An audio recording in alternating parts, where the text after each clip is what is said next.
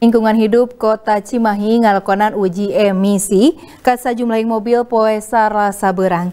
Eta ketak teh dilakonan pikeun ngurangan polusi di sakuliah Kota Cimahi. Sakumna kendaraan anu lulus e emi, uji emisi, satulina bakal ditaplan stiker lulus uji emisi.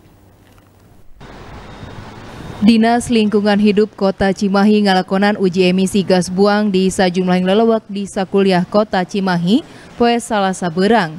Ari kendaraan anu diuji emisi teh mangrupa mobil angkutan barang turta kendaraan pribadi. Sakumna kendaraan anu lulus uji emisi ditapelan stiker lulus uji emisi. Ari anu lulus uji emisi bakal dipepelingan pikeun di omean. Kabid Penataan Hukum Lingkungan Hidup atau DLH Kota Cimahi Yani Rinjaning sih nembrakeun uji emisi kawilang penting sangkan hambalan polutan anu matak bahaya pikeun kesehatan manusia bisa ngurangan turta ngurangan hambalan polusi udara. Tujuan dari uji emisi ini adalah sebagai evaluasi kualitas udara.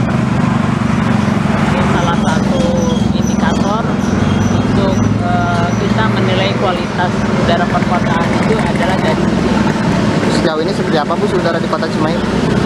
Uh, setelah kita sudah melakukan uji emisi secara uh, mandiri itu dari tahun 2018 jadi sekarang yang kedua tahun 2012 hasilnya bagus Dinas Lingkungan Hidup Kota Cimahi ngeceskeun tapi kaki wari hambalan polusi di Kota Cimahi masih kawilang HD. Algi Muhammad Gifari, Bandung TV.